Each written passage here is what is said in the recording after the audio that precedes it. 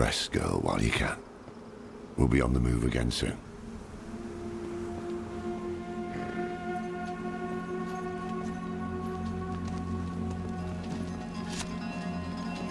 She's gone.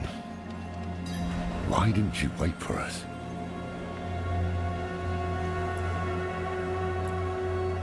No. It will take time for the corruption to spread from the stone. She must have left for a reason. Yes. Yes, that must be right. Yorin, Donan. We've lost so many to hatred. We can't lose Neyrelle too. Come on. Not while I'm in town.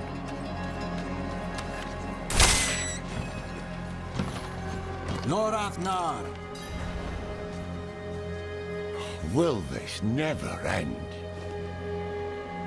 Yosef, what do you want? Step aside. I'm here for the Horadrim. Can it wait? I'm off to bury a friend. We'll dig his grave for you. Well, that's kind. But who will dig yours?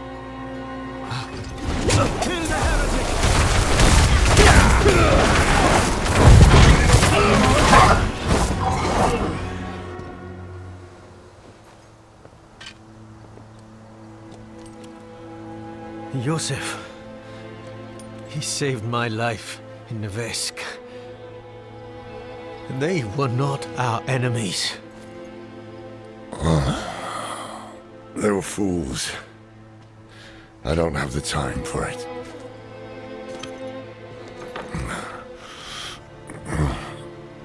I am going to Scosglen.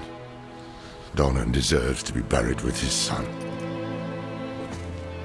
I thought the dead deserve nothing, while the living are in danger. Wise words. But I... I have a promise to keep. That's why you must ride north, ahead of me.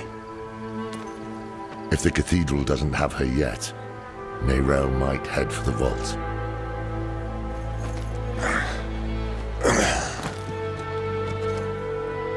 Find her. Once you're together, meet me at Donan's estate.